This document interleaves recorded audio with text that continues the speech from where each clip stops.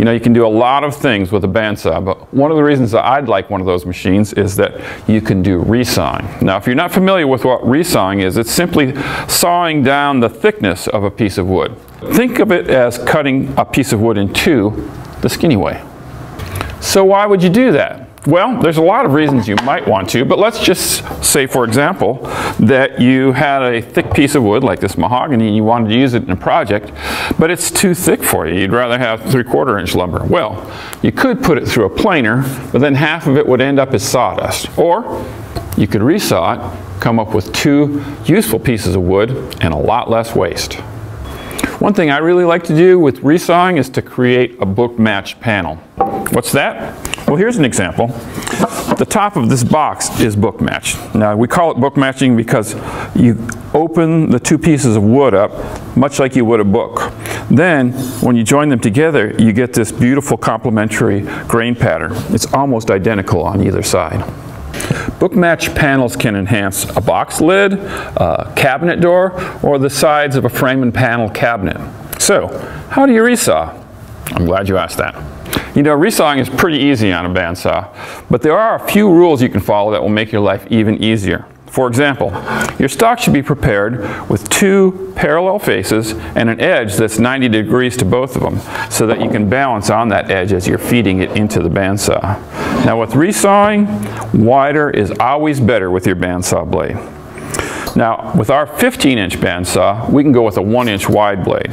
But most 14-inch bandsaws will have, allow you to take up to a 3 quarters of an inch wide bandsaw blade, and you can resaw just fine with that.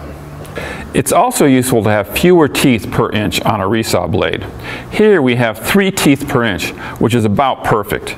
It cuts aggressively and clears sawdust effectively. It does leave a rougher cut, but you'll need to surface the resawn face anyway, so make your life easier with fewer teeth. Now almost any bandsaw will resaw to one degree or another. There are some limiting factors, however. We've already talked about blade width. Another one is the distance from the tabletop to the bottom of the blade guard. In this case, this saw goes up to 14 inches, which is pretty impressive. The final one I think we should talk about is the motor size. Now, on this big saw, we have a 3 horsepower motor. If you're using a more typical 14 inch saw, you'll have a 1.5 or a 1 and 3 quarter horsepower motor. They'll work just fine. You just need to go a little slower. I spun the saw around to show you the last detail I want to talk about. It's the fence. You'll notice that there's a cylinder added to this fence here. Sometimes when you're cutting down the length of a board, the blade wants to wander, whether it's from grain pressure or the blade is not as sharp as it ought to be. This fence allows you to adjust the angle of your board so that you can keep that blade dead center as you're making the entire cut. Now, this fence is made out of metal, but I've actually made point fences of my own out of wood. But enough talking, let's get to rocking.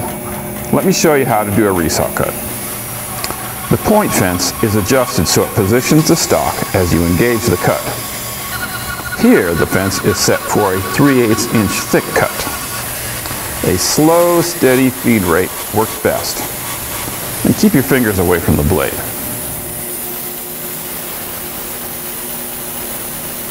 So that's really all there is to it. Resawing is a great way to enhance your woodworking and save a little money as well.